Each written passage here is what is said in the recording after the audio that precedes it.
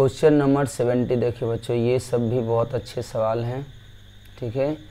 ये सब सवाल बहुत अच्छे इंपॉर्टेंट होते हैं। अब देखिए, इसमें भी हमारे पास क्या है ना क्वाटनरी एमाइन दिया हुआ मतलब चार्ज्ड लिविंग ग्रुप है। और चार्ज लिविंग ग्रुप का बच्चों, एक ही केस होता है, आपको पता होना चाहिए कि उसमें हॉफमैन एलिमिनेशन होता है। तो जब भी आपको क्वाटनरी एमाइन का एलिमिनेशन करना हो तो उसका तरीका क्या होता है बच्चों? सबसे पहले आप नाइट्रोजन प्लस को घेर लें। इससे पहले देखेंगे आप वीडियो मतलब 69 नंबर क्वेश्चन 69 नंबर क्वेश्चन भी इसी पैटर्न का था, ठीक है? आपको वहाँ पे हम ये बताए हुए भी हैं कि इस तरीके के एलिमिनेशन को कैसे करना है। तो आपको क्या करना है? क्वाटरनी एमाइन के एलिमिनेशन इसको हॉफमैन एलिमिनेशन बोलते हैं। तो यहाँ पे आपको क्या करना है? सबसे पहले नाइट्रोजन प्लस को घेर लेना। और नाइट्रोजन प्लस से जितना भी कार्बन डायरेक्ट जुड़ा हुआ रहता है बच्चों, वो सब अल्फ़ा कार्बन है हमारा। सब क्या है? अल्फ़ा कार्बन है। ये भी कार्बन देखिए, अल्फ़ा हो गया। और अल्फ़ा के बगल वाला जो कार्बन था बच्चों, वो बीटा होता देखिए, ये अगर अल्फ़ा है तो इसके बगल में ये बीटा है। ठीक है? और ये वाला बीटा है। तो ये हमारे पास बीटा कार्बन हुआ और ये बीटा कार्बन। अब करना क्या है? आपको आपको उस बीटा कार्बन से हाइड्रोजन हटाना है, जहाँ पर बनने वाला निगेटिव चार्ज ज़्यादा स्टेबल होना चाहिए। और ऐसा हम इसलिए बोल रहे हैं बच्चों, क्योंकि ये चार्ज सबस्टेट है। चार्ज सबस्टेट में ये लिविंग ग्रुप बहुत पुअर होता है। और पुअर लिविंग ग्रुप होने की वजह से जहाँ से हाइड्रोजन एब्स्ट्रैक्ट किया जाता है ओ एच माइनस के द्वारा या किसी बेस के द्वारा, वहाँ पे पार्शियली निगेटिव चार्ज डेवलप हो जाता है ट्रांजिशन स्टेट में। इसलिए ट्रांजिशन स्टेट को स्टेबलाइज होना चाहिए। तो इसलिए हम लोग ऐसा बात बोलते हैं कि इस केस में आपको पहले अल्फ़ा कार्बन सारा मार कर लें। अल्फ़ा कार्बन किसको बोले बच्चों? तो नाइट्रोजन प्लस को सिर्फ़ आप घेरें। नाइट्रोजन प्लस को घेर लें। नाइट्रोजन से जो डायरेक्ट कार्बन जुड़ा हुआ है, उसको आप बोलेंगे अल्फ़ा कार्बन। और अल्फ़ा कार्बन के बगल वाले कार्बन को बीटा कार्बन बोलना, जितना अल्फ़ा, देखिए, इससे तो इधर जुड़ा हुआ ही नहीं है। तो इसका बीटा नहीं होगा, इस अल्फ़ा का कोई बीटा नहीं, इस अल्फ़ा का कोई बीटा नहीं, लेकिन इस अल्फ़ा का तो बीटा है। एक बीटा यहाँ पर है, एक बीटा यहाँ पर है। अब इन दोनों बीटा कार्बन में से आपको सोचना, हम हाइड्रोजन कहाँ से हटाएँ? आपको हाइड्रोजन वहाँ से हटाना पड़ेगा, जहाँ पे ज़्यादा स्टेबल निगेटिव चार्ज बने। तो देखिए, अगर हम यहाँ से हटाते तो निगेटिव चार्ज यहाँ बनेगा, और यहाँ से हटाते तो यहाँ बनेगा। ऑब्वियस है, ये थ्री डिग्री है, ठीक है? मतलब इधर से भी इलेक्ट्रॉन मिल जाएगा। इधर से भी मिल जाए, इधर से मिल जाए तो हाईली अनस्टेबल एनाइन हो जाएगा। तो बच्चों, यहाँ से मिलना चाहिए हाइड्रोजन तो अगर हाइड्रोजन यहाँ जाएगा तो निगेटिव चार्ज भी यहीं बनेगा। और निगेटिव चार्ज जब यहाँ बनेगा तो ये बच्चों, इस सेंटर पे अटैक करेगा अल्फ़ा पर और इस पूरे नाइट्रोजन प्लस को हटा देगा। तो इसका मतलब इसका अगर मैं प्रोडक्ट बनाऊँ बच्चों तो इसका प्रोडक्ट कुछ ऐसा बनना चाहिए। और आप देखें, ये इसने क्या बनाया है। इसका प्रोडक्ट मेरे समझ से ऐसा आना चाहिए एन और उसके बाद एम ई थ्री और यहाँ पे आपको डबल वन दिखना चाहिए। ठीक है? और यहाँ पे डबल वन दिखेगा तो ये वाला मिथाइल होगा देखिए। मिथाइल के पास डबल वन नहीं है। ये हम देखिए, यही बना दिए प्रोडक्ट ये होना चाहिए, लेकिन ये बना दिया। इसलिए बच्चों, ये सही मैच नहीं है। आप आइए यहाँ पे। फिर से यहाँ पर भी वही केस है। यहाँ पर भी हमें क्या सोचना होगा, इसको थोड़ा सा ओपन करके लिखते हैं। क्योंकि यहाँ पर देखिए हम इसको नीचे बना देते हैं बी वाले को हम यहाँ पे नीचे कर लेते हैं। यहाँ पे देखिए क्या किया है बी वाले में? ये नाइट्रोजन प्लस तो किया, चलिए हम भी कर देते हैं। यहाँ पे मिथाइल है, कर लेते हैं मिथाइल। ये नाइट्रोजन प्लस। अब देखिए इससे एक तो मिथाइल जोड़ा ये तो चलो ठीक है। यहाँ पर देखिए क्या जोड़ा इथाइल जोड़ा हुआ। और ये चीज़ हमें थोड़ा सा समझना होगा। अब देखिए, फिर हम वापस इसको क्या करें? नाइट्रोजन प्लस को पूरा घेर लेते हैं। अब बताइए, नाइट्रोजन प्लस से जो भी कार्बन जुड़ा हुआ, वो सब अल्फ़ा है। सारा अल्फ़ा है तो ये भी अल्फ़ा हो गया। अब बताइए, अल्फ़ा का बीटा खोजना तो इस अल्फ़ा का बीटा ये हो गया। इस अल्फ़ा का बीटा ये हो गया। इस अल्फ़ा का बीटा ये हो गया। इस अल्फ़ा का तो कोई बीटा नहीं, इस अल्फ़ा का बीटा ये हो गया। अब गौर से देखें, सारे बीटा में से कौन सा बीटा ज़्यादा स्टेबल होने वाला है? तो बच्चों, ये सब तो two degree two degree beta position है, ठीक है? तो कहीं ना कहीं हमारा फोकस इस पे जाना चाहिए और इस पे जाना चाहिए। अब इन दोनों में भी अगर आप देखें तो अभी से अगर आप यहाँ माइनस चार्ज बनाते हैं तो यहाँ से इलेक्ट्रॉन आएगा, यहाँ से इलेक्ट्रॉन आएगा, इन सब इसको दे देगा। तो ये वाला एनाइन ज़्यादा अनस्टेबल होगा, लेकिन यहाँ पर अगर आप बनाते हैं तो यहाँ से तो कोई नहीं है। यहाँ से बस एक ही ग्रुप है जो इसको इलेक्ट्रॉन दे सकता है, ठीक है? और यहाँ से एन प्लस भी है। तो ओवरऑल आपको पता चल रहा होगा कि यही बीटा है जहाँ पे बनने वाला माइनस चार्ज स्टेबल होगा। तो इसका मतलब बेस जो है वो इसी बीटा कार्बन से हाइड्रोजन लेगा। अब सोचिए, अगर इस बीटा कार्बन से हाइड्रोजन लेगा बेस तो यहाँ पे बनेगा आपको क्या? यहाँ पे आपका क्या बन जाएगा? यहाँ पे आपका बन जाएगा माइनस और जैसे ये माइनस यहाँ पे बनेगा, ये माइनस तुरंत इस अल्फ़ा कार्बन पे अटैक करेगा और यहाँ से बॉन्ड पूरा टूट जाएगा। तो मेरे अनुसार ये जो प्रोडक्ट बनना चाहिए बच्चों, वो तो C S two double bond C S two होना चाहिए। ये पूरा सीगमेंट हो गया और ये पूरा आपको मिल जाएगा। वहाँ पे अलग होता हुआ देख लीजिए, ऐसा। और यहाँ पे एक मिथाइल था, एक मिथाइल दे दीजिए, फिर यहाँ पे एक ऐसा, ठीक है? और ये ऐसा। इस तरीके का प्रोडक्ट आपको मिलना चाहिए था। इस तरीके का प्रोडक्ट आपको मिलना चाहिए। सॉरी ये वाला बॉन्ड नहीं आएगा, ये तो बॉन्ड टूट चुका है। बस इतना ही बॉन्ड रहेगा। ठीक है? आपको इस तरीके का प्रोडक्ट मिलना चाहिए। देखिए, यहाँ पे क्या बना रखा? ऐसा तो नहीं बना रखा। ये रिंग ओपनिंग कर दिया मतलब इसने यहाँ से दे दिया तो यहाँ से तो आएगा नहीं, इसलिए ये भी प्रोडक्ट गलत है। सी के बारे में देखते हैं। सी में देखिए क्या है? ये आपका रहा नाइट्रोजन प्लस तो इस कार्बन को आप अल्फ़ा बोलेंगे, बिल्कुल बोलेंगे। इस कार्बन को आप अल्फ़ा बोलेंगे, बिल्कुल बोलेंगे। इस कार्बन को आप अल्फ़ा बोल दीजिए, ठीक है? सारा कार्बन अल्फ़ा, एक और है, ये भी अल्फ़ा हो गया। सारा अल्फ़ा कार्बन को देखा कीजिए गौर से। एक अल्फ़ा, दो अल्फ़ा, तीन अल्फ़ा, ठीक है? और एक ये चार अल्फ़ा, चार क्वार्टनरी या चार अल्फ़ा होगा। अब इस अल्फ़ा का बीटा ये हो गया। इस अल्फ़ा का कोई बीटा नहीं। इस अल्फ़ा का तो बीटा है, इस अल्फ़ा का भी बीटा है, इस अल्फ़ा का भी बीटा है। तो बीटा कार्बन का एक वही यहाँ पे हो गया एक बीटा कार्बन, ठीक है? एक बीटा यहाँ पे हो गया, एक बीटा यहाँ पे। अब सारे बीटा कार्बन का होगा अब देखें तो इनमें से आपको वापस सबसे ज़्यादा स्टेबल बीटा कार्बन कौन सा लगने वाला? तो ये वाला तो नहीं हो सकता बच्चों, क्योंकि यहाँ से देखिए फिर से इधर से जाएगा इलेक्ट्रॉन ठीक है? तो ये तो यहाँ से जुड़ा हुआ। इसकी अगर हम बात करते हैं, इसकी अगर हम बात करते हैं तो यहाँ पर देखिए क्या है, यहाँ पे देखिए, यहाँ से तो फिर इधर से भी जुड़ा हुआ, इधर से भी जुड़ा हुआ, फिर इधर से भी आएगा, फिर इधर से भी आएगा। इसमें देखिए क्या हो रहा है, ये वाला बीटा कार्बन जो है, यहाँ पे जो बनने वाला माइनस होगा, वो ज़्यादा स्टेबल होगा। वो क्या होगा बच्चों? ज़्यादा स्टेबल होगा। इसलिए यहीं से हम लोग क्या करेंगे, इसको अटैक कराएँगे तो यहाँ से ओपन हो जाएगा। समझ रहे हैं? तो अब देखिए यहाँ पे क्या होगा? नाइट्रोजन, ये बच जाएगा।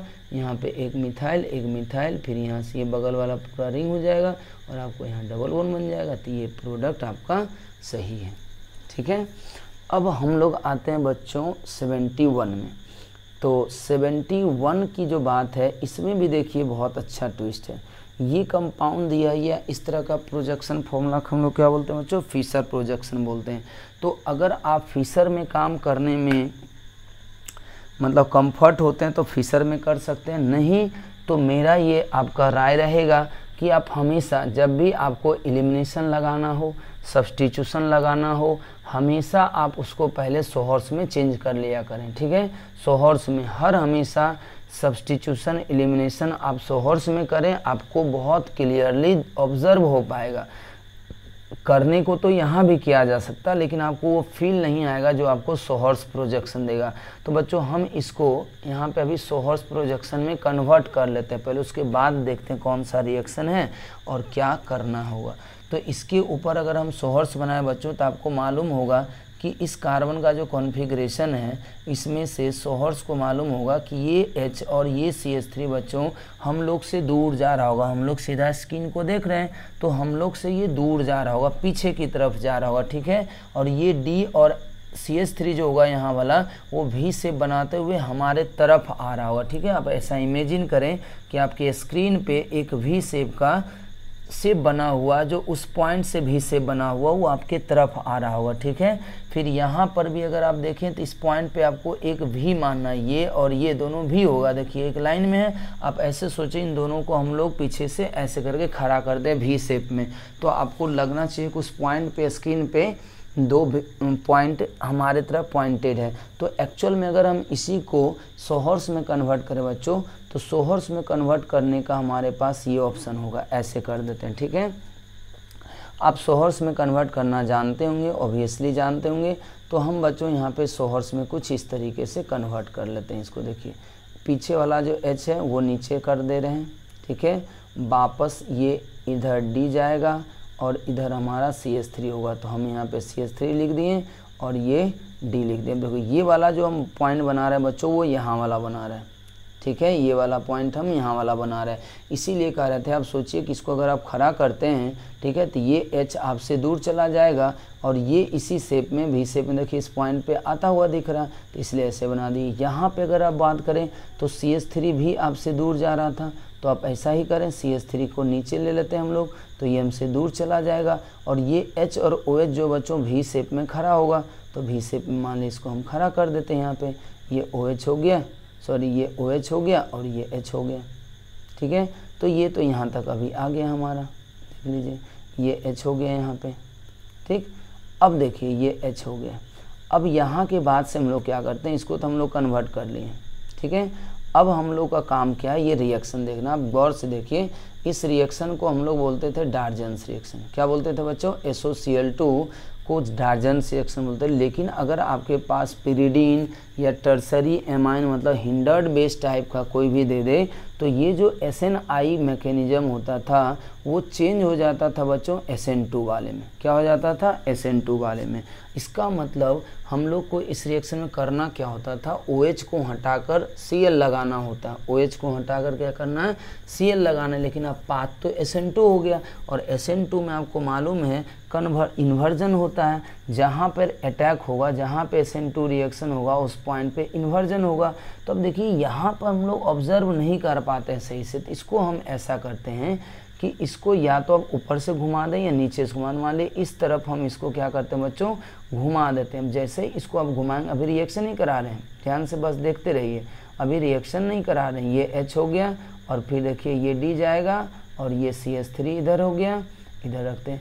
इस सिग्मा वन के बाद इसको रोटेट करते हैं। सोचिए, जब इसको आप ऐसे रोटेट करेंगे तो ये सी एस थ्री इधर चला जाएगा, ये एच नीचे आएगा और ये ऊपर खड़ा हो जाएगा ऐसा।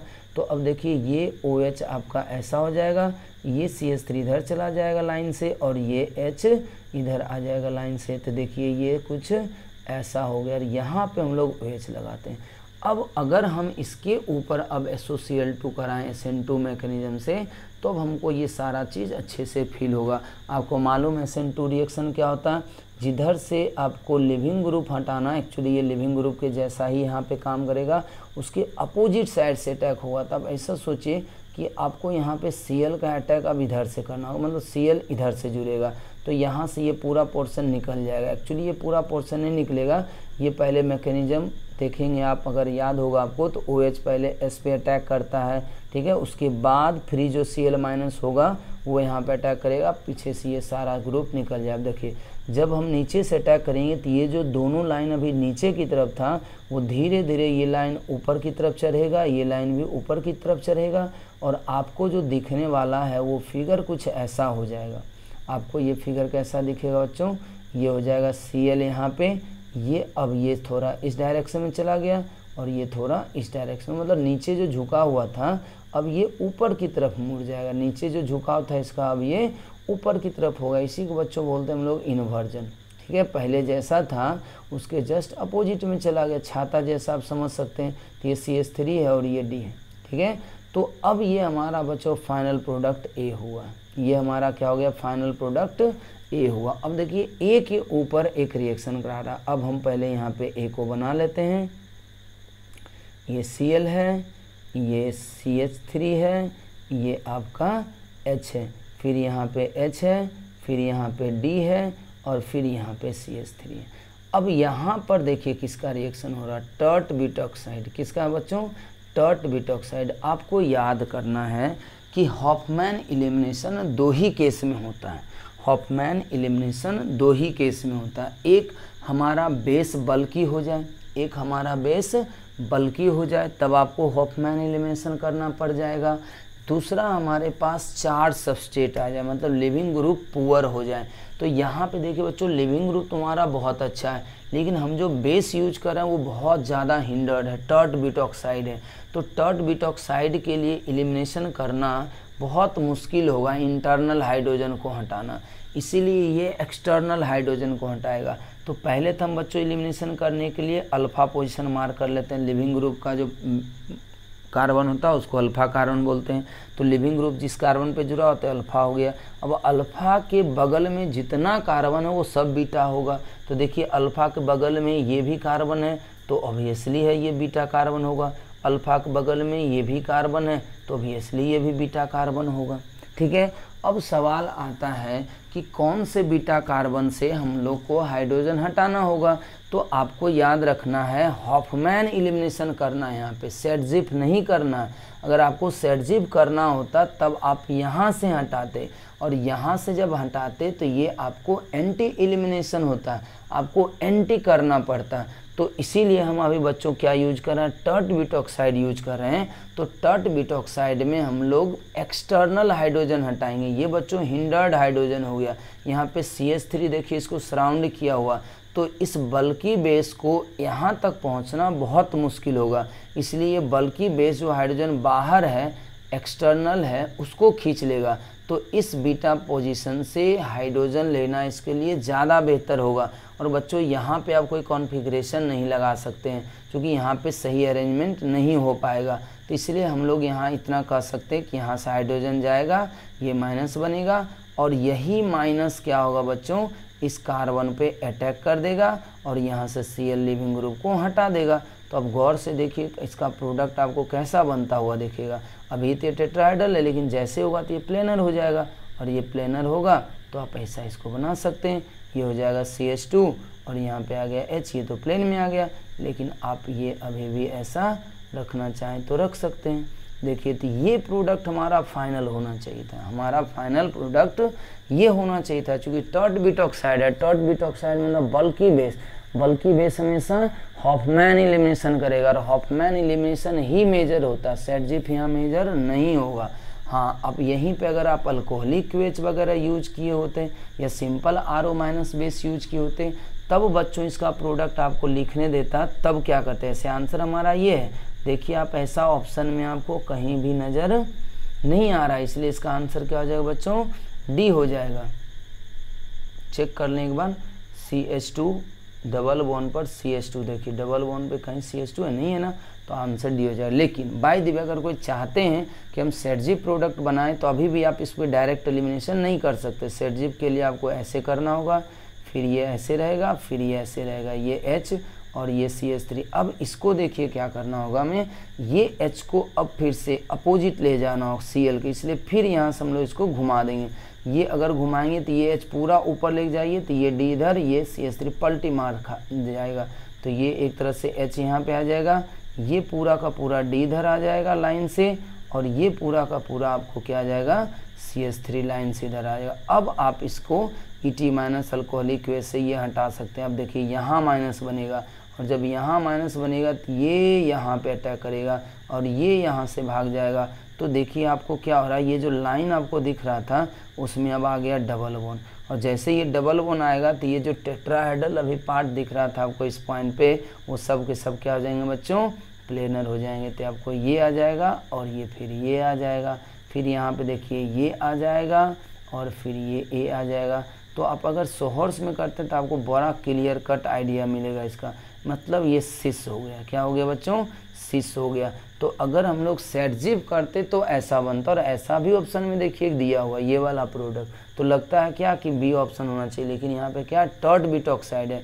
इसलिए ये आंसर क्या होगा बच्चों? इसका सही आंसर डी है। तो एक तरह से देखिए तो बहुत इंपॉर्टेंट सवाल है। बहुत अच्छा कंसेप्चुअली बहुत अच्छे लेवल के ये सवाल माने जाएँगे, ठीक है? तो इस तरीके से आपको बच्चों एक एक पॉइंट को हमने क्लियर कर दिया है। अब इसमें हमको नहीं लग रहा कि आपको कहीं पे डाउट होना चाहिए।